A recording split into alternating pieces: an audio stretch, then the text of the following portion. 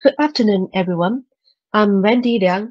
I'm working as a Linux kernel developer for Cruise, which it is a company to produce driverless cars.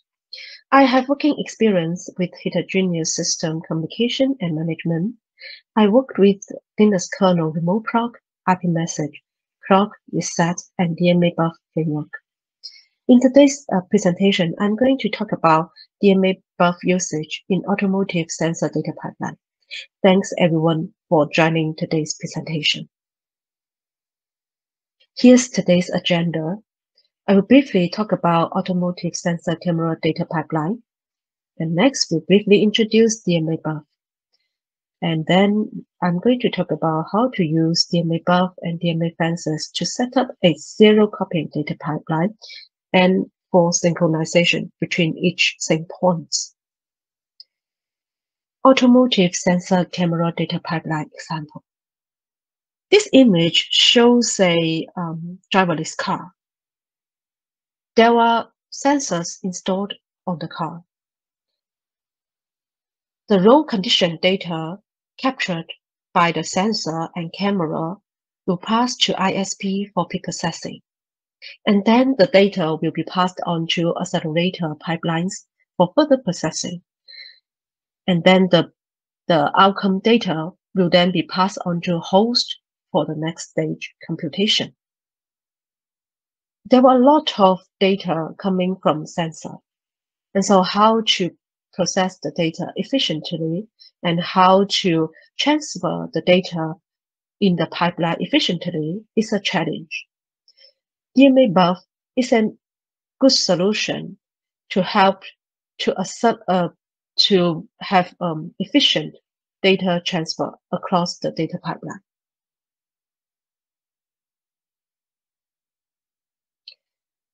DMA buff.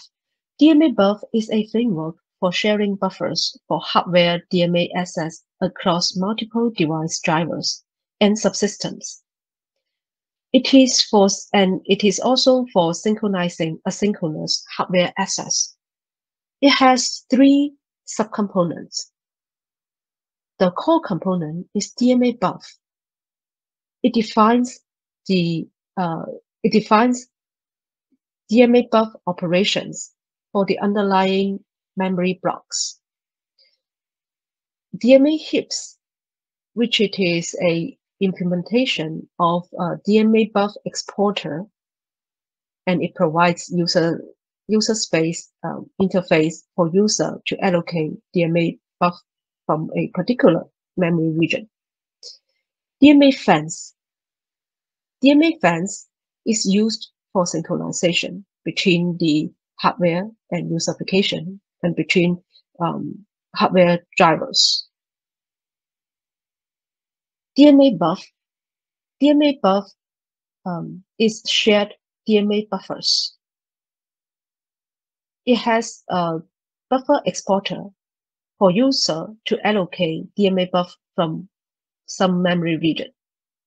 And each buffer has users. The users can be in kernel space or in user space. DMA buff is a scatter-gather list of memory block. The underlying memory can be contiguous or discontiguous.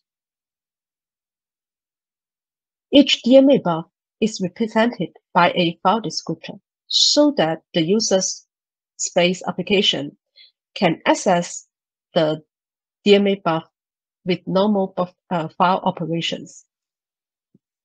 DMA buff operations is to enable user to attach to the buffer and access um, the buffer memory.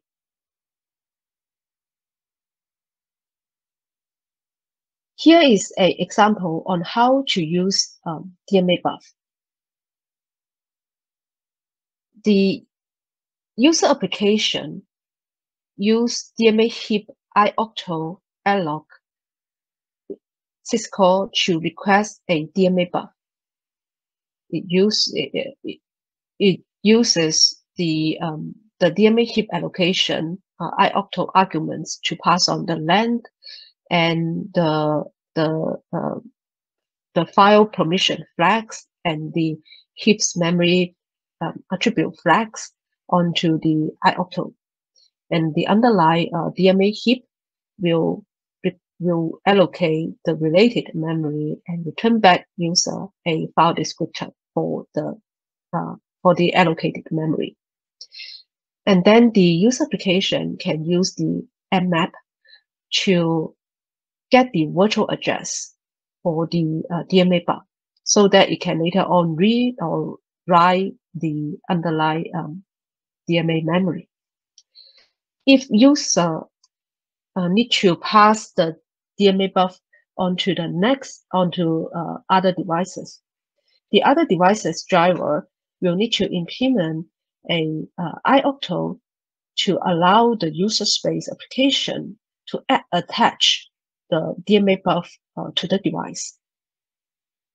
If the driver implements such a ioctl API, and then the application can use that ioctl syscall to attach the DMA buff to the device memory.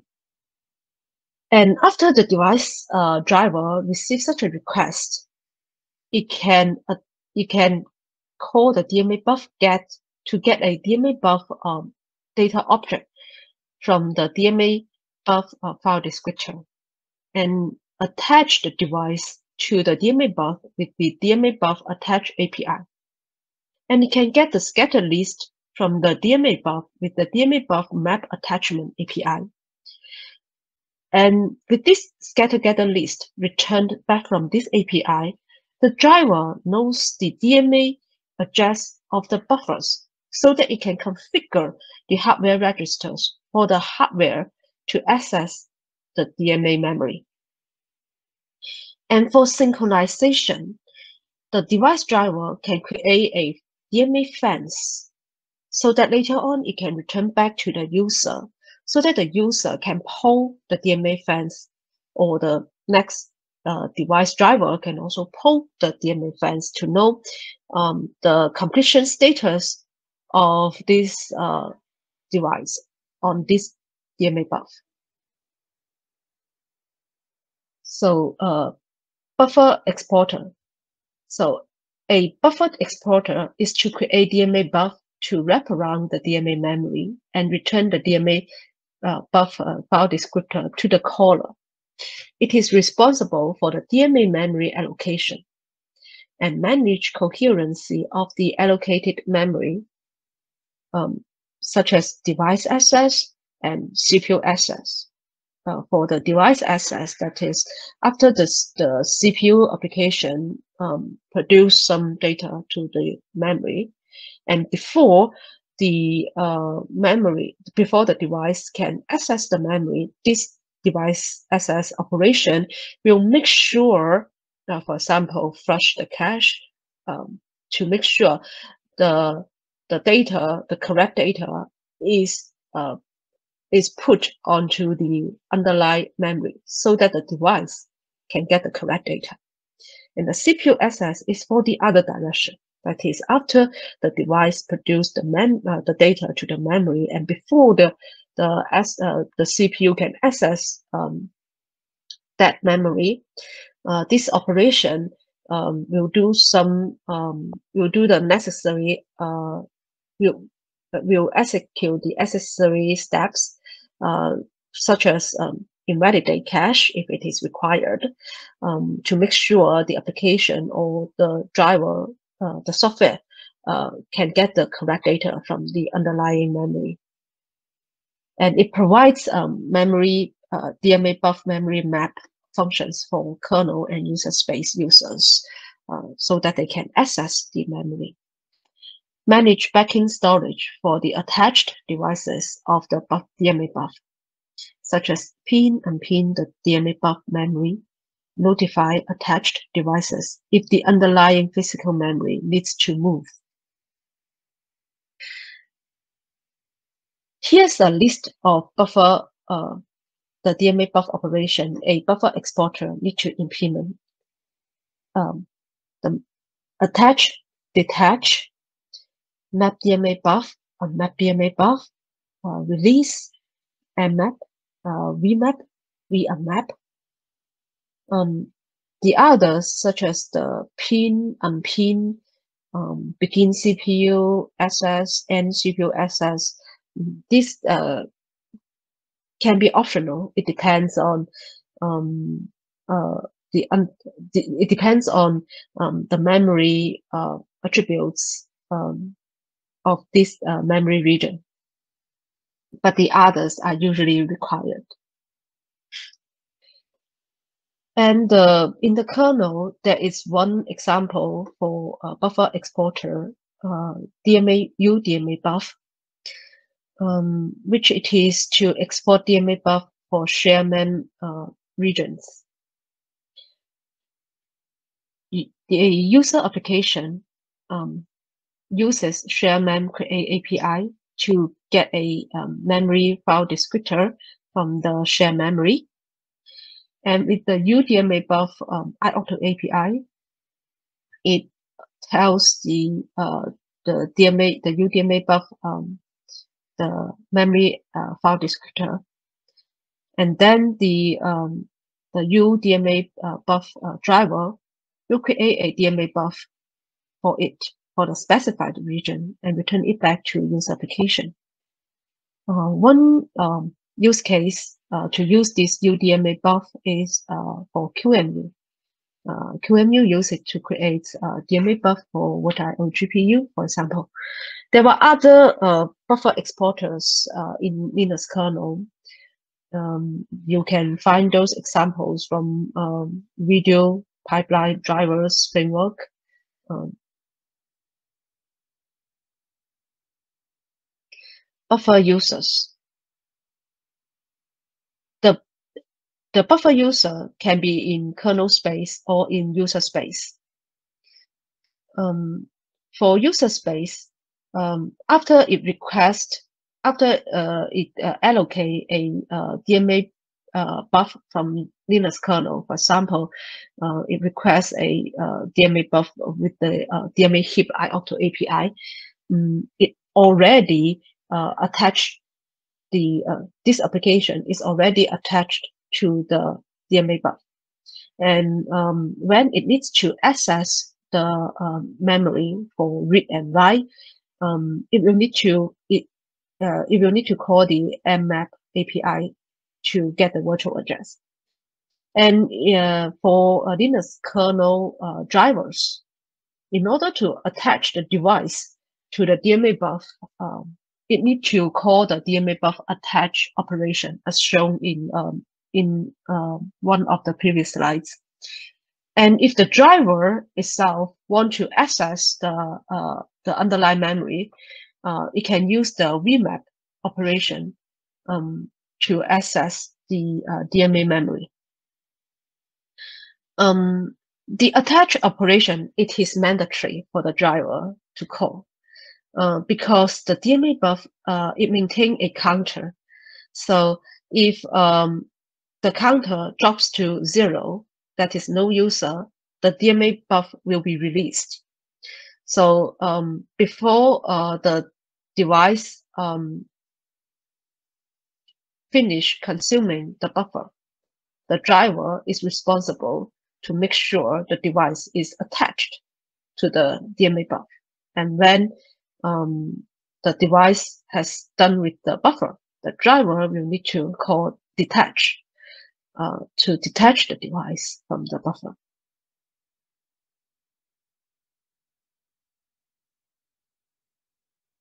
So um, here it shows um, there is a exporter implemented in the Linux kernel provides user a ioctl API for user to allocate mem uh, DMA buff and each uh, devices in the pipeline will need to have a drive its driver implement a ioctl API for the user to attach the DMA buff to each of the devices.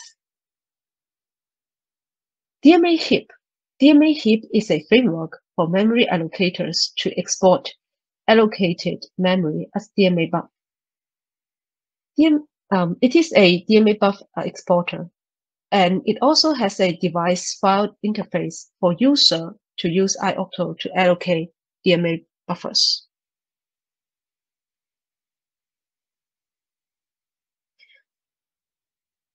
Linux kernel, uh, it implements two heaps. One is the system memory heap, the other is the CMA heap. When user allocate memory uh, request DMA buff from the system heap, the system heap driver will allocate DMA memory from the Linux system memory. And when driver wants to get a uh, DMA buff from the CMA heap, the uh, underlying CMA heap driver will allocate the memory from the CMA pool.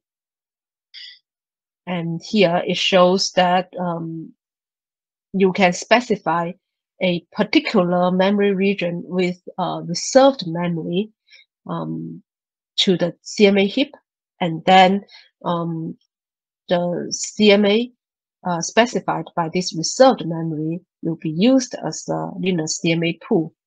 And when you use the uh, CMA heap API to allocate a, a DMA buff, uh, it will get the um, memory from this specified uh, CMA pool region.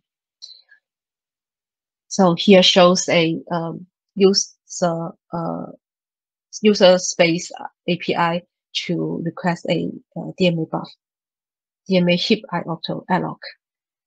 And uh, when it returns the DMA buff, the DMA buff file descriptor will be uh, specified in the ioctl's um, argument structure. And this, uh, the length, it is uh, for user to specify um, the size and the FD flags is the file, um, uh, is the uh, permission of the DMA buff file. The heap in, in the heap flags is for the uh, memory attributes. Um, so besides um, the DMA buff operation um, required by uh, DMA buff uh, exporter, um, the DMA heap um, driver will also need to implement a DMA buff allocate uh, op, uh, operation to allow user to allocate um, DMA buff from the uh, from the heap. In this example, uh, it uses reserved memory to specify a uh, DMA heap region.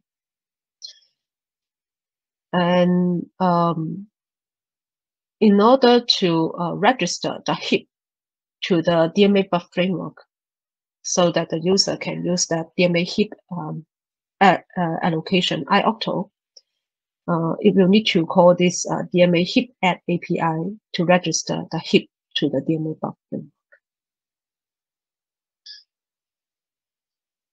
DMA fence. DMA fence is a Linux kernel internal synchronization primitive for DMA operation. Um, besides a single DMA fence um, data structure, Linux kernel also provide DMA fence array um, and DMA fence chain uh, data structure uh, to uh, group DMA fences. DMA fence can be exposed as a sync file for user space to inquire DMA fence status. And the sync file can be passed around explicit synchronization points. And DMA buff can also store DMA fences with DMA reservation um, for implicit write and read synchronization. Um, later on in the presentation, we will show more on the uh, sync file usage uh, because it is more explicit and with uh, this sync file, uh, it is um, very easy uh, to get the notification for the DMA operation on each buffer and um, if uh, any um, buffer failed any DMA operations. Um, so this is uh, the um, some uh, example code for uh, DMA fence creation and DMA fence um, usage. Um, to create a DMA fence, uh, we'll need to allocate the memory for the DMA fence because uh, when the, a DMA fence is released, it will usually uh, the underlying the allocated fence will got released. Um, and use this DMA fence in it to initialize the fence. And if we want to create a sync file for the fence, um, and uh, we will call this sync file create, and we will get a file descriptor uh, for the sync file. And for user application, user can poll on the DMA fence file descriptor to know if uh, the fence is signaled. And uh, for the Linux uh, space kernel driver, um, can use a DMA fence wait to to wait for the fence to be signaled.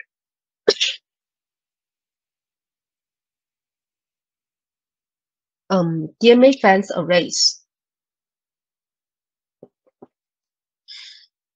So DMA fences array is an array of DMA fences uh, the, the array itself is represented as a DMA fence. And this array is um, can be configured to be signaled if any fence in the array is signaled or if all the fences uh, in the array are signaled. So it has two configuration. And DMA fences chain. A DMA fences chain is composed of a previous um, fence and a associated uh, fence to the current chained node. It is signaled if all previous uh, fences in the chain and the associated fence are signaled.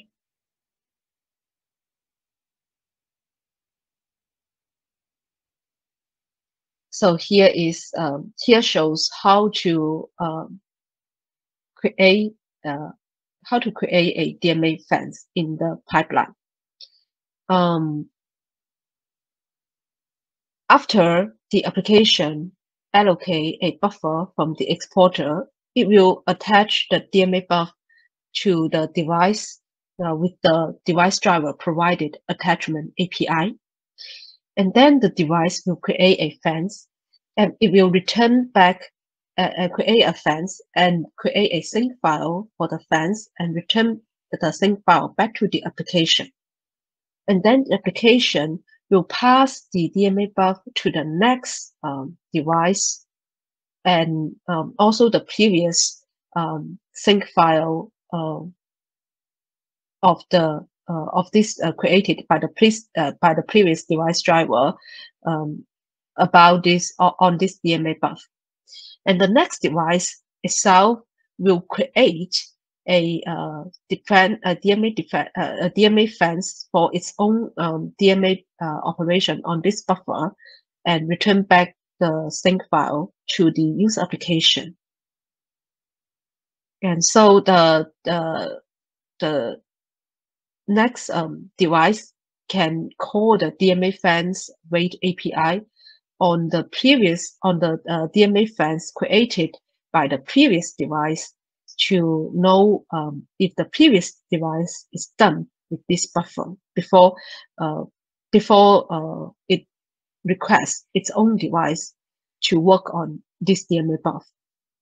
And the user application, by polling all the sync files, it knows the completion status or uh, whether uh, any of the um, uh, any of the uh, accelerator in the pipeline has errors on this uh, DMA buff.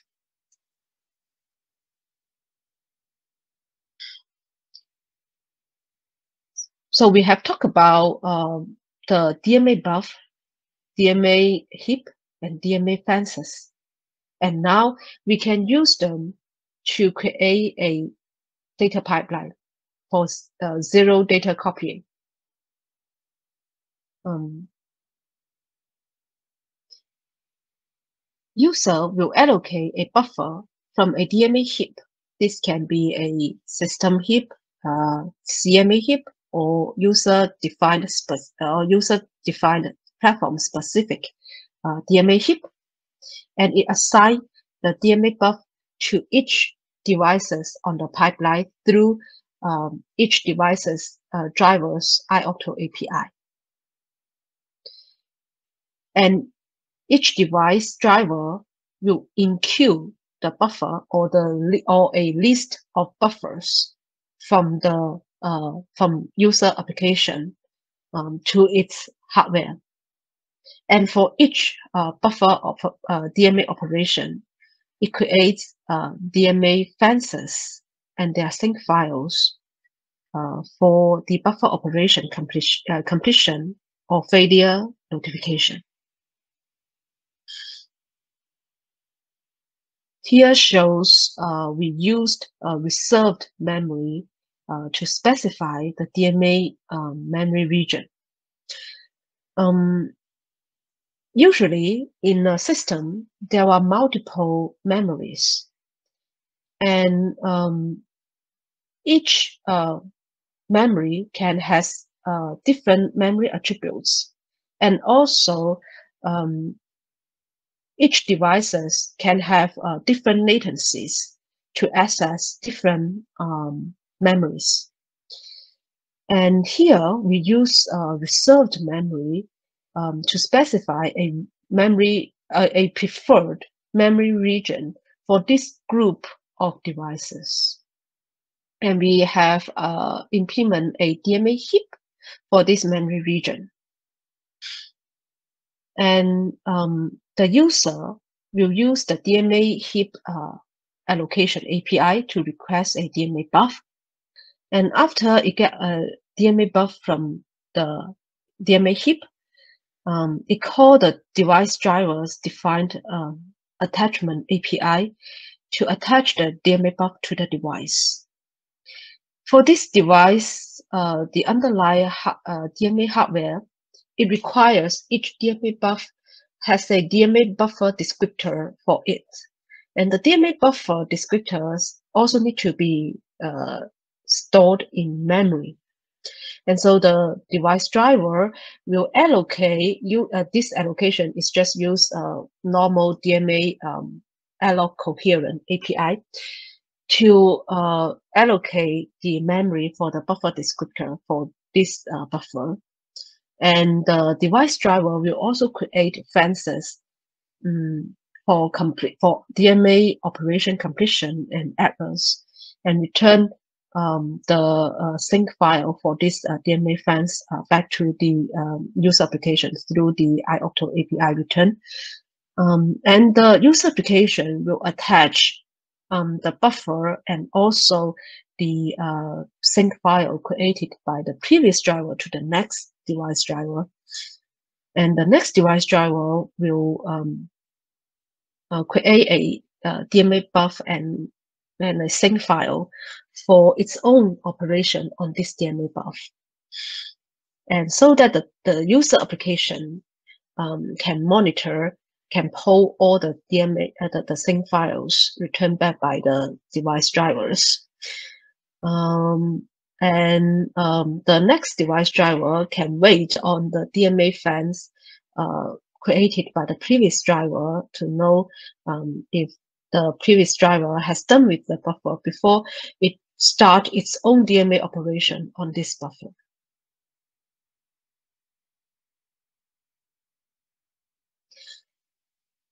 So here, uh, this diagram shows how we use the DMA fence to notify user for buffer completion or errors.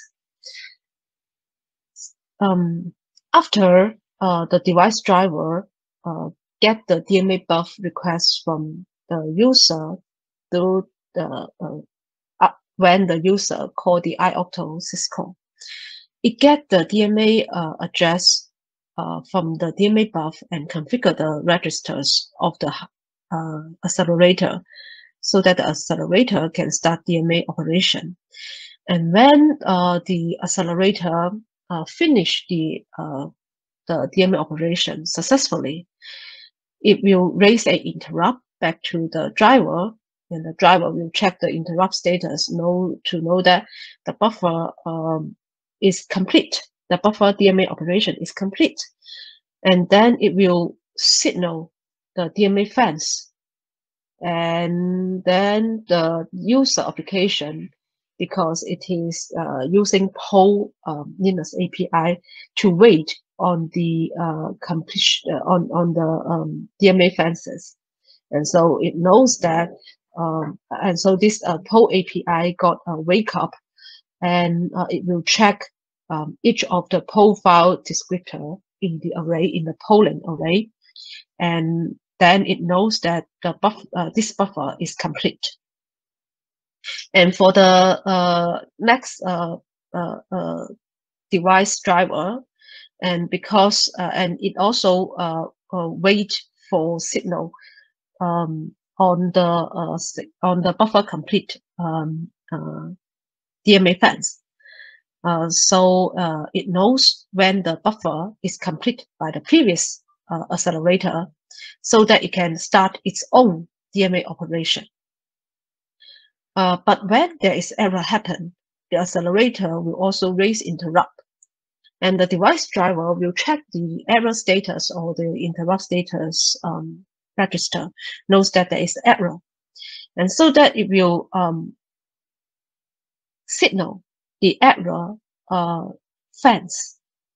And the application, uh, because it also pull on the uh, error sync file, uh, so it knows that there is error happened. And also the next device driver, it also wait on the signal, uh, uh, the, the, the error signal uh, of the previous uh, DMA operation. And so that it knows that there is error in the previous operation and and then it it can uh, it knows that it should not um, go ahead uh, with this buffer so it can de detach from this buffer. And here it shows the full um, uh, data pipeline with the DMA buf. Um, so we can see that the data coming from the sensor through MIPI bus and it goes to the ISP and it goes to the accelerators before it goes to the host compute. And um, for the uh, embedded uh, Linux system, um, the user application will um, allocate DMA buffers uh, from the DMA heap uh, of the specified DMA region. The DMA region is specified by reserved memory. And then it will pass the DMA buffers to each of the accelerators. So uh, usually there will be input buffer and uh, each um, uh, accelerator will also require a output buffer. So it is input and output and it um, uh, uh, the buffers to each of the accelerators on the pipeline. And each driver, uh, after it get the user request, it will create um, DMA fences for those buffers. And the DMA fences, it will cover the DMA buf operation completion. And also uh, there should be a fence to capture the errors and return back to user. And each of the the um, the the device drivers, it will wait on the uh, DMA fence uh, created by the previous step, so that it will not start its DMA operation until the previous one has done. And also, if you create the fences for its own DMA operation and give it back to user. And so that once the um, the the pipeline kick off, and then when the the the the data coming from the sensor, and there is no software intervention, um, there's no user space uh, software intervention, um, and then um, the data will come to uh, the first uh, IP and the driver will monitor the first IP completion status.